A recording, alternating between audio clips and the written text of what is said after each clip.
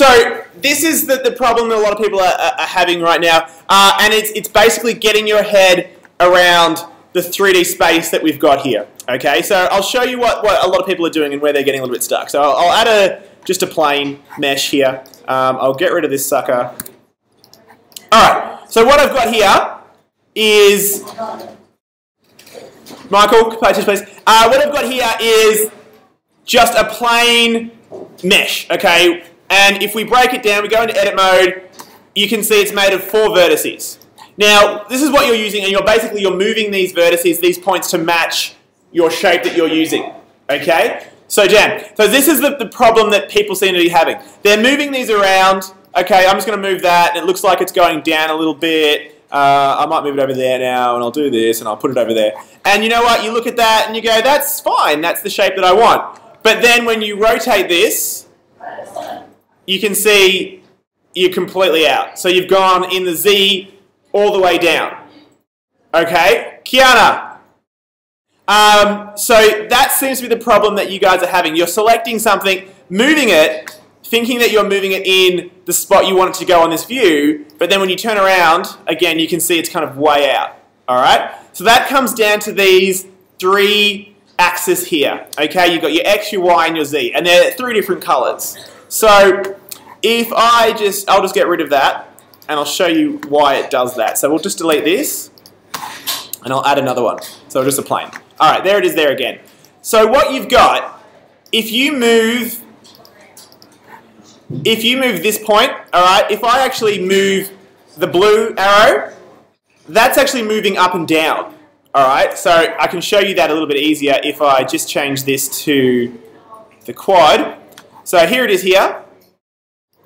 And you can see in the other views, it's actually moving up and down. So from the top view, which is that one there, it looks like it's in the exact same spot, but it's not. You're going up and down.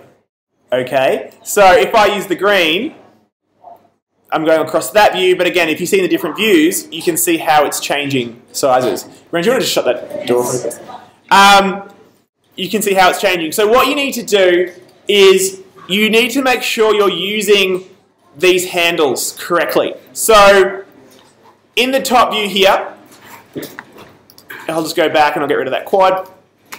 So if I change my view here to my, my top view, if I only want this little point here to go up and down, then move it by clicking on the green handle, okay? And you can see it creates that green line that goes up and down the whole screen. So now you know that it's only going up and down. All right, it's not going anywhere else I want it to move it. Same with the with the red handle, all right, which is your um, your X.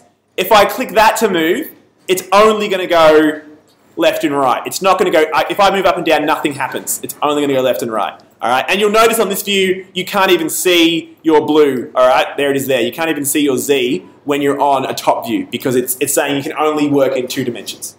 So that's the one thing most of you are doing. You, have got your image and you might have this on a, a bit of an angle here, all right, and then you're moving this around and then when you look at it, it's going to be out of whack, even just a little bit. Okay, so by selecting that, that uh, the, the white circle, okay, that's going to let you move anywhere which is fine. But the problem is if you're in an angle like this when you're doing your work and you move it around, it's also going to go up and down as well, okay, and left and right. So you can use that white circle, but only if you're constraining yourself to one of these, like a top view. So if I use it now, it's only going to go up and down, left or right. That's it. It's not going to go in the Z, okay? So it's not going to have depth.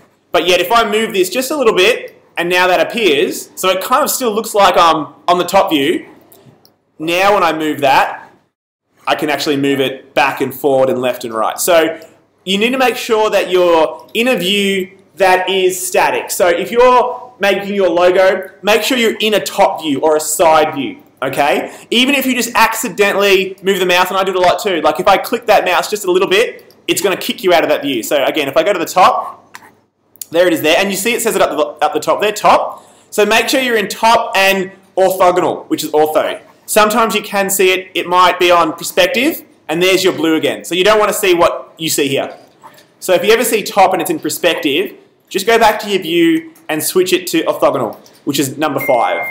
And now you can see you're basically on a top or a left, right, you know, top, bottom kind of view. So that's where you want to be working from where we are right now, because you're doing just a flat object. All right. When we start making, if we made a 3D object like a head, um, that's where working in a different view would help. So if I just get out of this, I'll go back to object mode. I'll just get rid of this, and I'll add uh, a monkey. Um, okay.